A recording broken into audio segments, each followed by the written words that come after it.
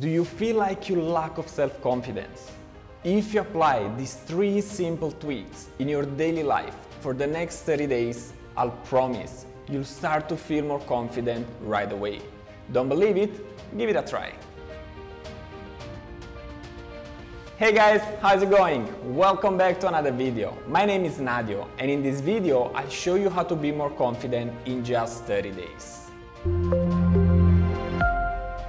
Most people think they lack of self-confidence and that turns, of course, into a self-fulfilling prophecy. What you think, you become. What you believe, you become. So how do you build your self-confidence in 30 days? First, change the way you speak to yourself about yourself. Anything you say after the words I am have a tremendous power. Stop saying I'm not confident, I'm not worthy, I'm not good enough. Start saying instead I'm confident, I'm powerful, I'm worthy. Do this for the next 30 days in front of a mirror, but say it as you really mean it. Really feel those words. Your subconscious mind doesn't know the difference between what's real and what's vividly imagined. The first couple of days might feel a little weird. That's normal. You are shifting your way of thinking and your mind gets confused. But keep going for the next 30 days. The second thing is to make a committed decision that you're going to become more confident. First, decide where you want to feel more confident. Is it in public speaking, in relationship, in your ability to earn money? Self-confidence is trusting yourself and your skills and abilities. Most probably, you are already confident in some areas of your life.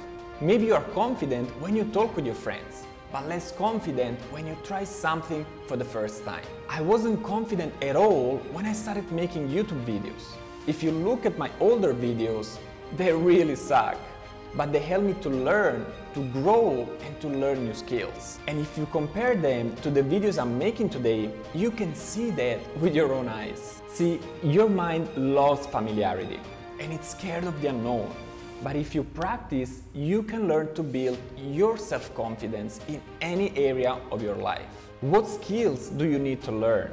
How do you want to feel?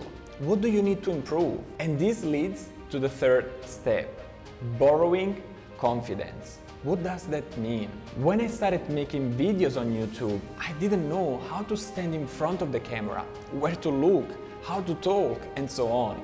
So I watched the videos of the people I admire and I started to notice how they moved, how they talk, their posture, and I love their self-confidence. So I asked myself, how do I do that? And I started to move like them, to talk like them, and to feel like them in my mind and I realized that I was borrowing the skills and their confidence. Practicing that in my mind first and in front of the camera later, I started to get better.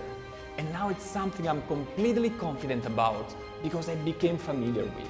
Who is someone you really admire, you can borrow confidence from? How do they talk? What do they do? How do they think? Obviously, there are many more ways to build your self-confidence. But if you practice these three simple steps into your daily life for the next 30 days, your self-confidence will skyrocket. Let me know in the comments if you're going to try this strategy and how it will work for you. And if you enjoyed this video, please like, subscribe and hit the notification bell. Thank you for watching and I'll see you in the next video. Ciao!